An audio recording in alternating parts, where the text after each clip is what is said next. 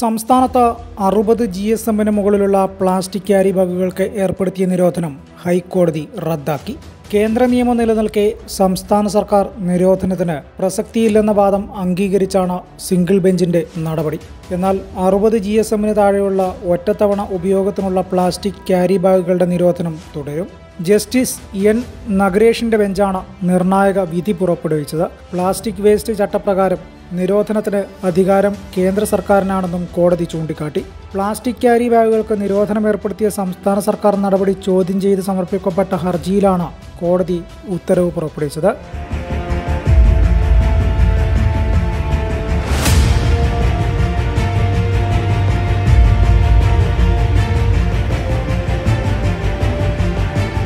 സംസ്ഥാനത്തെ plastic carry ബാഗുകളുടെ ഉപയോഗം പൂർണമായി തടഞ്ഞുകൊണ്ട് സംസ്ഥാന സർക്കാർ നേരത്തെ ഉത്തരവിറക്കിയിരുന്നു.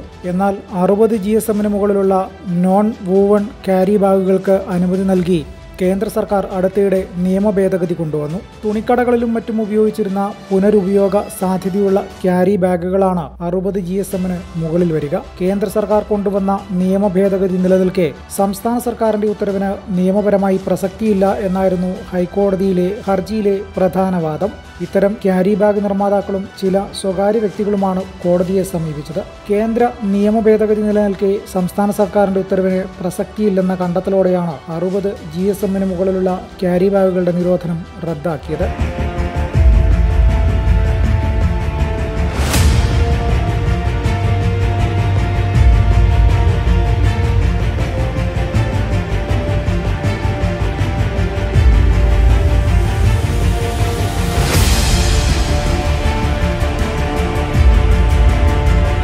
സാധാരണ കടകളിലും മറ്റും കൊടുക്കുന്ന ക്യാരി ബാഗുകളുടെ നിരോധനം തുടരും. പ്രകൃതി സൗഹൃദ സംസ്ഥാനമായി കേരളത്തെ മാറ്റിയെടുക്കുക എന്ന ലക്ഷ്യത്തോടെയാണ് സംസ്ഥാന സർക്കാർ നിരോധന ഉത്തരവിറക്കിയത്. ഇത്തരം പ്ലാസ്റ്റിക് കവറുകൾ ഭൂമിയിൽ നശിക്കാതെ കിടക്കുന്നു എന്ന് വിലയിരുത്തിയാണ് നിശ്ചിത പരിധിയിൽ കുറഞ്ഞ പ്ലാസ്റ്റിക് ബാഗുകൾക്ക് നിരോധനം ഏർപ്പെടുത്തിയിരുന്നത്. നിരോധനത്തിനെതിരെ അങ്കമാലി സ്വദേശി ഡോക്ടർ തിരുമേനിയും മറ്റും സമർപ്പിച്ച ഹർജികൾ അനുവദിച്ചാണ് കോടതി ഉത്തരവ്. കോടതി ഉത്തരവിൽ അപ്പീൽ പോകണമോ എന്ന കാര്യം സംസ്ഥാന സർക്കാർ തീരുമാനിക്കും.